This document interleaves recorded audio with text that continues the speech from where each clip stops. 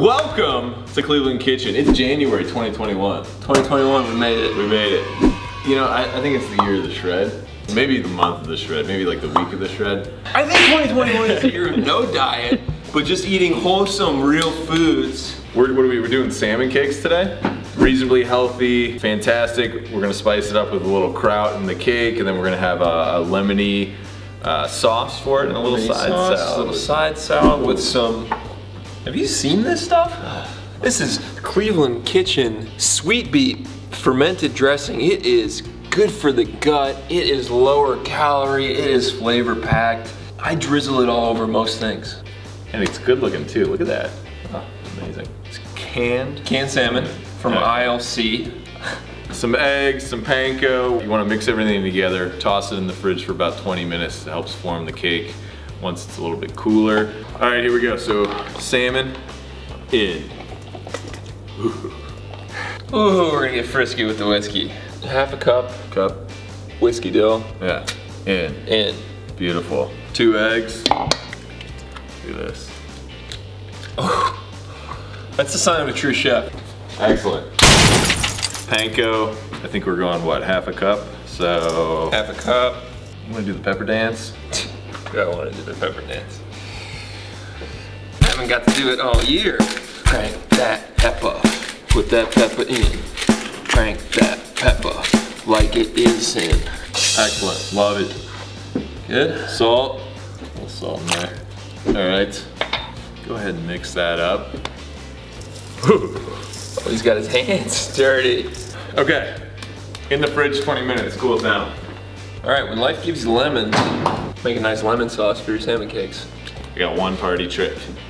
Nice. It gets me nowhere at parties. Ah. You're really looking for like one to two teaspoons of parsley. For one to two teaspoons of parsley. All right, while he's doing that, I'm gonna little little zest of the lemon. Parsley in. Parsley in. Some lemon juice as well.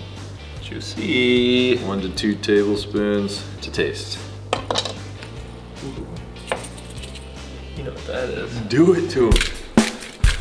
As soon as these clubs are open in 2021, you're gonna see Pepper Mac out there. Pepper Mac on the floor. Crank that pepper. Put that pepper in. Crank that pepper. Stir that up, then we'll taste it, see if it needs anything. Voila. Building a side salad. Super easy. One of the things I love is a little bit of you know, sharp, heavy flavor. Red onion for the beautiful, subtle sweetness of the sweet beet. I mean, Perfect. a little bit on there. Easy. You know what I love about this dressing? It just makes it so easy to serve up wellness. It's gut-friendly probiotics, so low calorie, but you feel is like you're not sacrificing. 45 calories. How many? 40. It's a lie. Believe it. It's real. It's real, people. Cucumbers into the mix. Good. So the sweetness of this dressing, paired with the saltiness feta, You better.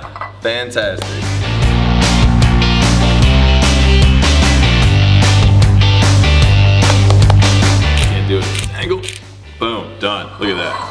All right, we're gonna go butter into the pan here. You know, I learned from Chef April, don't touch that butter. So in our skillet, we have some browned butter. And it is especially brown because Drew was stirring it because he was hungry and being premature. We've got our mixture salmon, so we're gonna take a little handful, form it into a pate in. Swimming in butter. Back to their natural habitat. All right. I think we're just about there. Little crispy boys. Okay.